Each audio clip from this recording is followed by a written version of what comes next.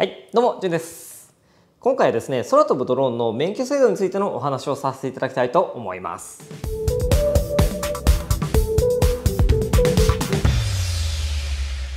この動画はですね、うちの D アカデミー関東埼玉校卒業生様向けにまず最初ちょっと限定公開で上げさせていただきます。多分 DM 等々でうちのあの笹マモの方が送ると思いますけれども、その後まあ1週間とか2週間とかしたらですね、一般公開多分させていただくと思いますけれども、この動画は一応 JUIDA の、えー民間資格ですね、日本 US 産業振興協議会の、えー民間資格、操縦技能資格と安全運航管理者資格、この2種類を持たれている方向けにちょっとなるのかなっていう気はしますけれども、まあ、そうじゃない方もですね、参考にしていただければと思います。えまずはですね皆様がお持ちの民間資格ありますよね。操縦技能資格と安全航管理者資格っていうのがあると思いますけれども、まあ、基本的にはその操縦技能資格の方がいわゆる操縦の方のま資格なんですけどこの民間資格とこれからスタートする12月5日以降にスタートします国家資格。免許制度ですね。別物の資格だと考えてください。民間資格は民間資格です。国家資格は国家資格です。なので別の種類とえ資格だと思っていただければと思います。え例えばもともと今持たれているえ民間資格はそのまま要は国家資格になるんですかとかアップグレードできるんですかとかそういうような感じではないということだそうですね。結局別物です。ただ全く関係ないっていうわけではないのでそれはちょっとこの後お話しします。であとは皆様が気になられている今の民間資格10位の資格ってどうなのっていう方もいらっしゃいますしそれについてもお話しさせていただきます。勘違いされちゃってる方が結構いらっしゃるんですけれどもまず今皆様がよく国交省へ申請出されてますよね。許可承認の申請のお話っていうのは座学でもやらせていただいていると思います。え例えば空港周辺だったりとか高度 150m 以上あと DID ですね。もう DID って言って皆さん当然ながら分かりますよね、えー DID この3つ。人口集中地区ですけれどもこの3つで飛行させたい場合は国土交通大臣の許可が必要になります。えさらにそれ以外ですね。夜間飛行したりとか目視外飛行したりイベント上空で飛ばしたりえー対人対物 30m 以内で飛ば飛ばしたり危険物輸送したり物件投下を行ったりとかねそういった、えーまあ、6つの飛行方法、まあ、他にもあるあのあるんですけれども、えーそこら辺を飛ばす場合は国土交通大臣の承認が必要というお話も授業でさせていただいていると思います。これあの民間資格をお持ちの方はもう当たり前にやってることだと思いますので10代以外の方もですね知ってて当然という内容でございますしこれドローンスクール受講されてない方もドローンを飛ばしてる方は当然ながらこれは知った上で飛ばしていただかなきゃいけないというふうに個人的には思ってますのでスクール反対派の方々スクールなんか何十万もするから払っても仕方ないやと思ってる方でドローン飛ばされてる方っていうのはこれを知らないんであれば勉強不足です。これもう本当に言っておきます。え勉強不足ですね。ぜひここはもうしっかりとドローンスクール行かなくてもいいので勉強していただいてしっかりと安全運用してドローンを飛ばしていただきたいというのが切に思っている次第でございます。はい、で今言ったその許可承認制度っていうのがまああるんですけれどもこれは継続になりますから免許制度がスタートしても当面の間は継続されますなので免許を別に取得しなくたって今までみたいに民間資格行っても行かなくても国交省への申請というのはできてますからこれは継続されます。一定期間だと思いますけどあの継続されます。なので慌てて免許免許取らなくてもドローン自体飛ばすことは可能ですのでご安心ください。で逆に言うと免許を持っていても今まで通り許可承認制度要は申請しないと飛ばせないっていう飛行方法も実はあって免許があれば何でも OK ってわけじゃないんですよ。そこもね注意していただきたいというところですね。なので慌てて免許を取らなくても今までみたいにドローンを飛行させることはもちろん可能です。当面の間はですよ、はい、今現在の内容ではということで。おそらく何年かすると許可承認制度がまあなくなるかもしれないし免許がないとダメってなるかもしれないし何とも言えないところではありますけれども現状ではそんな感じです。これがまず1つ目勘違いしないでほしいなというところですね。免許制度自体は2022年12月5日以降から、えー、各々の、まあ、教習所というか登録講習機関と言われるところがスタートして皆様が受講できる体制がだんだん整ってくるという感じになってきております。でその後に皆様が車の免許と同じように、まあ、免許センターみたいな試験センターみたいなところに行って試験を受講するんですけれどもその試験を受講して免許証を手にするのっていうのはもう来年になると思います。2023年になると思いますので12月5日スタートしたからといってすぐ免許をゲットみたいな形にはねならないと思いますのでそこもちょっと誤解のないようにお願いいたします。じゃあここからがちょっと免許制度のお話なんですけれども免許制度のその内容的なところを簡単に、ね、あのお伝えしておこうと思うんですけれどもまず免許の種類っていうのは1等免許と2等免許というものがございます。車でいうとこの、まあ、大型とか普通免許とか中型とかみたいな感じですよ。大体そんな感じです。でさらに今まで我々がねあのドローンドローンって言ってるところっていうのはいわゆるマルチコプターと呼ばれるもので、まあ、ローターの数が3つ以上でマルチコプターと呼ぶみたいなのを授業でもね獣医らの場合言ってると思いますけれども、え、本当その通りで、えー、マルチコプターはマルチコプターなんですよ。で無人航空機の中にはそのマルチコプター以外にもヘリコプターとかですねとか固定翼普通の飛行機の形したものももちろん入るわけなんですよね。マルチコプターだけが無人航空機ってわけではありませんのでそこちょっと注意していただきたいところもあるんですけれどもえそこの種類によってマルチコプターだったりヘリコプターだったり固定翼だったりということで免許の種類が変わるみたいですね。はい。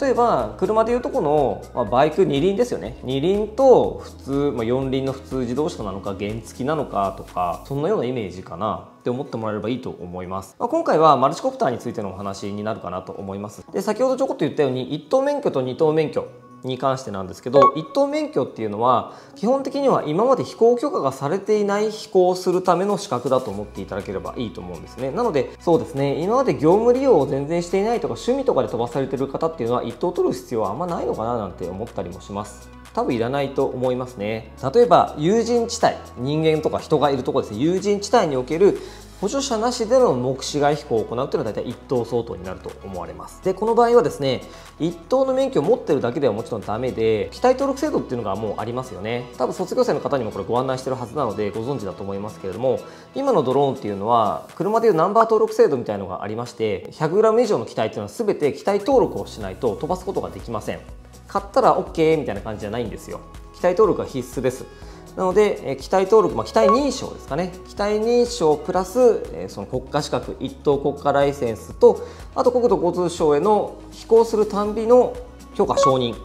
が必要だそうですね。運行管理体制の確認が必要になるというふうにま言われております。そこら辺が重要なところですね。だ一等免許持っていても免許持ってるだけであの有人地帯飛ばせるよってわけじゃないんですよ。今までの許可承認制度もそうだし機体登録機体認証制度っていうのも併用して全部 OK であれば、えー、飛ばしますよみたいなね感じです。飛ばしてもいいですよっていう感じです。有人地帯でやっぱ飛ばすだけあってなかなかやっぱ厳しいなとは思いますけどもそこまでしてもまあそれしょうがないかなと思いますね。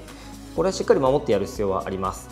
なので当てはまらない方々もかなり多いんじゃないかなと思いますので、まあ、無理して1等取らなくてもいいのかなと個人的にはね思いますけどね。はい。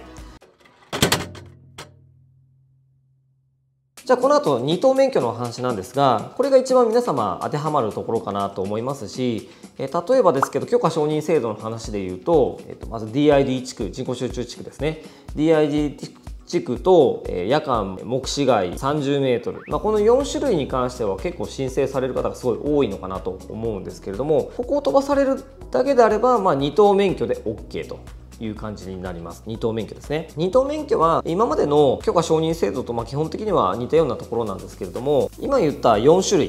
類人口集中地区 DID 地区で飛ばすところと夜間目視外30メートル、まあ、目視外に関してはちょっと一部条件付きではあるんですけどもそこで飛行させる時っていうのは2等の免許を持っている人は国土交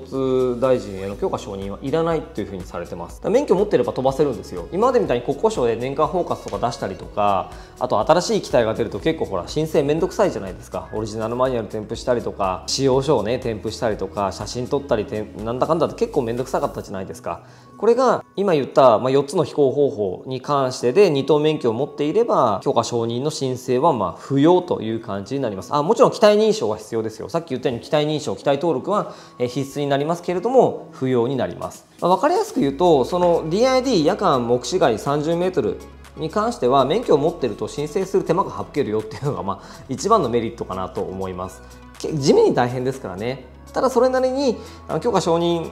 制度を受けないで飛ばしてるっていうことになりますのでその国家資格を持ってる人の責任になりますので何かあったらねあの国交省が悪いんだとかもちろん言えないですし自分の責任の上でしっかりと飛ばしていただくっていう形になりますね。で2等免許の中ではねそういった飛行方法もあればそれ以外の例えば空港周辺150メートル以上の空域イベント上空あと危険物輸送物件投下これ例えば農薬散布等々もこれに入ると思いますけれどもこれに関してはですね、えっと、国家ライセンス2等免許を持っていることとあと機体認証登録制度をしっかりやっているということが条件にはなるんですが許可承認っていうのはねやっぱやらなきゃいけないんですよ。申請は必要なんですけど一部省略できるそうです。一部省略。今言ったやつ空港周辺とか 150m 以上物件とかイベントえ危険物輸送に関しては許可承認の申請は必要なんだけど省略一部省略できるっていうことになるそうですね、まあ、簡潔になるのかな。簡略化されるというようなお話だそうですね。なので2等免許の中でも飛ばす方法とか飛ばすエリアに応じて2つに分かれますのでそこを注意していただければと思いますね、まあ、今言ったように一番皆様がやってるような DID 夜間目視外 30m の飛行方法飛行空域に関してはすごい飛ばしやすくなるかなとは思いますね。個人的には免許を持っていればですね。一応そういったのが免許制度の大枠でございます。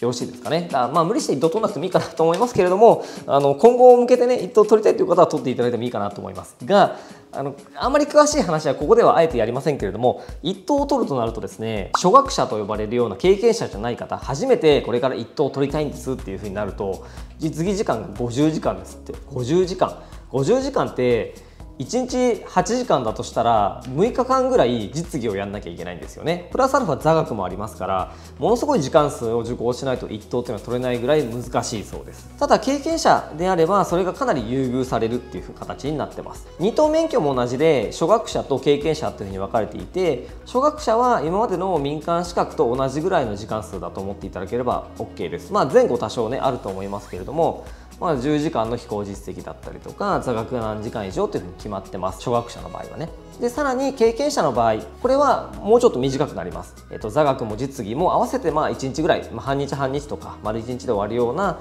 ぐらいで終わります。でその経験者っていうのが皆様がお持ちの獣医だの認定資格だったりとか、まあ、他のね民間資格もそうですけれども国交省に登録されている講習団体ですね。のところでその満たされたちゃんと内容をクリアしている方々卒業されている方々であれば、まあ、問題なく、えー、経験者というふうに証明することが可能だと思います、まあ、ちょこっと言っておきます。これ自己申告です、ちょこっとだけ言っておきます。自己申告です。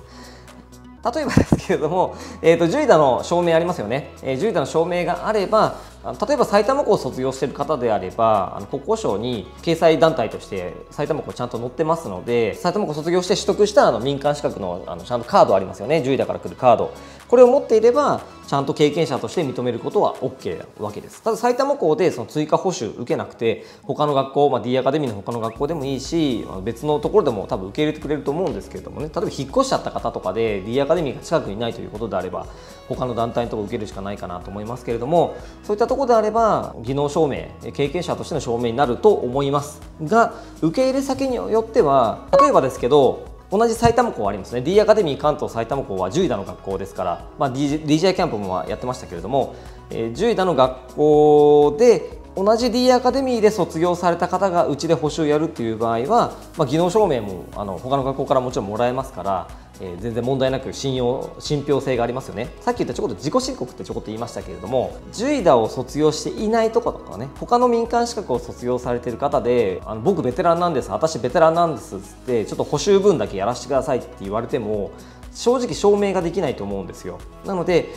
証明ができない場合はなんかね団体さんによってはその試験するっていう団体さんもあるみたいですよ。本当にその経験者として認められるかどうかをやっぱり検査する。国家資格ですからね今回ね。国家資格なんで自分がやってましたかっていうのを信じて OK みたいな感じにしたわけにはやっぱいかないみたいなので、えー、しっかりそこは、えー、と審査等をして検査検査審査まあ、そのちゃんと技能証明みたいなのが適してることの検査試験をして OK であればその追加補習だけでいいですよっていうふうにやるとか満たされないんであればもうあなたは初学者ですよみたいな形にするとかこれはあの学校さんによって結構バラバラみたいですけれどもちょっと D アカデミーアライアンスに関してはちょっとそこはまだ未確定なところではあります。あとその時間数と値段感に関してもちょっとまだ未定な部分もありますのでこれはあの決まり次第ですね。あの卒業生様に関しては別途それはご連絡をさせていただこうかなと思っておりますしまあそのうちぼちぼち出てくるんじゃないですかね。あの登録講習期間要は実地試験免除校という教習所ですね。車でいう教習所みたいなところの登録に関しては埼玉校、えー、進めております。ので、えー、無事登録が完了次第ですね、えー、埼玉校の卒業生さんはその追加補習等々も可能になりますのでそこはちょっとご連絡をお待ちいただければと思いますが12月5日以降登録開始登録終了した講習期間から順次スタートっていう形になっているので国交省のその審査タイミングとか登録タイミングによってはやっぱり来年になっちゃったりする可能性も一つ視野にはね入れとかないとかなと思ったりもしています。もちろん9月5日にあの国交省自体の登録っていうのはねちゃんとやってるんですけど9月5日から 登録スタートだったんでやってるんですけど多分、まあ、すんなりいかないんだろうなっていう気はしてます。もう国に国にやることなんでこれはしょうがないですよね。というような、ところなんですよ、まあ、なので獣医の卒業生さんに関しては今持ってるその資格っていうのがそのまま国家資格に移行するとかっていうわけではなくて経験者としての証明になりますので、経験者としてその国家資格を取得するためのその体内分だけのま補修みたいな感じかなそれを受講していただいてで実地試験免除するための実技試験っていうのもその補修のとこでやります。まあ、確認みたいな感じに多分なると思います。あのジュータの特に D アカデミアライアンス卒業生さんっていうのはあの8の字飛行もやってるし結構あの国家ライセンスで必要な飛行内容の練習って結構やってるんですよ。10位種の決まりではないだけであってあのやってるんですよ実は D アカデミー自体はね。なのでほとんど確認作業で済むかなと思いますけど終了検査員みたいなのがちゃんといるのでその検査員の方が OK だよと言ってくれれば、えー、無事教習所は卒業で試験センターに行っていただいて筆記試験だけ受けていただければ合格すれば免許がもらえます。とは車と同じなんで一発試験も OK なんですよ。試験センターに直接もう行ってもう俺ベテランだから余裕だよとかって言って実技も筆記も両方一発でね取得される方も OK なんですよ。なのでそういった方も意外といらっしゃるんじゃないかなと思いますね。まあこれあの10位だとか絶対関係ないですけど民間資格民間スクールを卒業されてない方で要は独学でやられてる方々はやっぱり操縦技能だったりとか機体の扱い方とかそのメンテナンスとか、まあ、筆記試験も勉強すればできるんでそういうのは多分ね問題なく一発でもクリアできちゃうんじゃないかなって気はするんですよね。ただ実際どういうその試験内容になるのかね詳しくはまだ始まってませんからわ、えー、からないんですけれども独学でやってる方で一番多分できないのって安全確認とかその確認作業とかチェック項目っていうのが多分抜けると思いますよ。普段やらなくないですか？右よし左よしとかね。ちゃんと安全確認して飛ばすとか。着陸する時に5メートル以内に第三者を入れちゃいけないみたいのがあると思いますけれどもその着陸する時とかもなんかね、第三者がいるところで「おおなんだよドローンかい」とかっつってあのおじちゃんおばあちゃんのとこ寄ってきて「おちょっと見せてくれよ」っつって着陸する時にね近くに寄ってきてるみたいなね。そんなのも実際あったりすると思うんですけど、まあ、そういうのやっぱ注意しなきゃいけないとかっていうのもあるじゃないですか。やっぱ車と同じなんですよね。しっかり一時停止して目視で確認して降ろすとかっていうのも、まあ、それは車の話ですけどそんなような感じでちゃんとあの安全確認したりとかあのチェック項目をしっかりやったりとか、えー、フライト前点検フライト中の確認事項フライト後の点検とかそこら辺を多分分よく見られるかななんて勝手に思ってますのでこれあの独学でやってる方は一番できてないところですね。本当に。独学の方がドローンスクール受講されて一番できてないのってやっぱそこなんですよ。知識だったり操縦技能は全然できてるんですけどそういうね肝心なとこ結構抜けてる人が多い傾向にありますので一発で受けられる方っていうのは、まあ、ドローンスクール卒業された方ももちろんもう一度そこをねよく思い出していただいて受けていただければ、えー、よろしいかなと思います。10代卒業生さんでその追加で受けられる追加補習受けられる方っていうのはそこら辺に関してもお伝えできると思いますしまだ100%ねあのカリキュラム決まってるわけじゃないですけれどもその試験対策みたいなのもねおそらくできると思いますので、えー、ぜひですね、えー、ちょっとご連絡をそこをお待ちいただければと思っております。はいということでなかなかちょっとね理解するのをまあ簡単に言ったつもりではあるんですけど理解するのちょっと難しいところも、ね、もしかしたらあるかもしれないので分かんないことがあればね何でも聞いていただければと思います。はい、分かる範囲でお答えさせていただきます。ちなみになんですけど一等試験さっきあるって言ったじゃないですか。一等試験のその実技試験の内容っていうのは分かんないですけど、まあ、DJI スペシャリストが問題なく卒業されてる方であればそのなんだろうそのインチキなしでね、まあ、スペシャリストでちょっとはインチキあるかもしれないが DJI インストラクターかな？DJI インストラクターをちゃんとあのマスターのもとで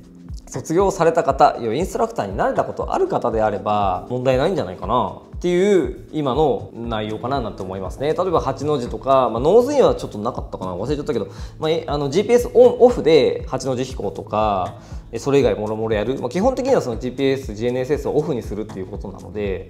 まあ、DJ インストラクターとか DJ キャンプと、まあ、全く同じですよ。内容は違いますけれどもそれで安安定した飛行ができるかみたいなね内容になってると思いますのでうんインストラクター DJI のインストラクター慣れてる方であれば問題ないと思いますけどね。そうじゃない方とか最近の方ってそもそもファントムがこれ今買えないしファントムが売ってた時代でもマビックが出てきちゃったんで、まあ、ミニシリーズとかもそうだしマビックエアーシリーズもそうだしマビックが出ちゃったからファントムなんかいらないやつって買わない人多いじゃないですか。でファントムじゃない人ファントムからスタートしたとか人であればまだ ATTI とか結構使ってたと思うんですけどインスパイアとかね。インスパイア12も ATTI できますし。だけどまあのマビックシリーズっていうのは基本的にはその ATTI モードと呼ばれるようなあの GNSS をオフにしたモードっていうのは基本ないので GNSS がオフになっちゃうとなんかコード制限とかもかかっちゃって結構安全にすごい振ってるんですよねマービックシリーズって。だマービックしかやったことない方とかだと多分一等は難しいと思いますよ。これスクール行かないと。練習しないと絶対無理だと思います。やったことない人とかあの ATTI モードに入れたことない方って本当に多いんですよ。これファントムとか持ってても結構多いんじゃないかな。あの一般の人はね業務でやられてる方は当然ながら ATTI でやることもたくさんあると思いますけれどもなので、まあ、スクールでちゃんと学ぶっていうのもありだし独学で、まあ、練習する場所が今ね少ないからちょっとあれですけど本当に ATTI モードでやったことない方っていうのはちょっとやってみた方がいいと思いますよで風吹いた状況でねやってもらうとか。うんまあ、そんなような感じです。一等はね一応ちゃんと難しいみたいですよ。うん、ちゃんとって言っちゃ変ですけど、まあ、一応そんな感じになってます。はい、ということで、えー、と一応まとめましょうか、えー、と皆様の、えー、と10代卒業生様に関しては皆様あの無事ちゃんと卒業されてる方であれば、まあ、経験者という扱いになるということで初学者に比べて受講時間がかなり減免されるという形になりますので、まあ、2等免許であれば1日ぐらいのま講習時間埼玉校だとちょっと半日半日で分けるかもしれませんけれども、まあ、そんな感じで追加は可能になります。費用感とかその他諸々に関してはちょっとまだ未確定な部分が多いので決まり次第ご連絡させていただきますという感じですね。一等については経験者の方は実技時間が10時間とかあと座学時間もあるんでやっぱりプラスアルファで4日間3日4日受けないと多分きついんじゃないかな。詰めれば2日とか2日半でいけるかもしれないですけど、まあ、多分今まで受けてもらったうちだと4日間コースですけどそれを同じぐらい受けてもらわないと経験者でもえクリアできないのかななんて思ったりもしてます、まあ、そこはちょっともうちょっと時間割詳しく決めてですねまた改めてご連絡させていただきます。でも初学者の方だと実技50時間ですからね。それが10時間になるだけ10時間前後ちょっとごめんなさい。正確な数字ちょっと今パッと変わってたら申し訳ないですけど自分が見た時確かに10時間ってなってた気がしたんですけどあの、まあ、かなりね減免されるんですよ1等は。2等よりかは1等の方がその減免時間がかなり大きいのでかなりいいっすよねなんて思ったりもしております、まあ、またあと詳しいことまた決まり次第ですねご連絡させていただきますので、えーお待ちいただければと思っております。ちなみに筆記試験はねコンピューターを活用する回答だそうですからね。これも言っときましょうか。えっとね指定試験機関っていうところで、まあ、筆記試験を受けるんですけど1等は75分程度2等は30分程度かかるそうですよ。かなりかかりますね。まあ、そんな感じで、まあ、ちゃんとした筆記試験だそうですね。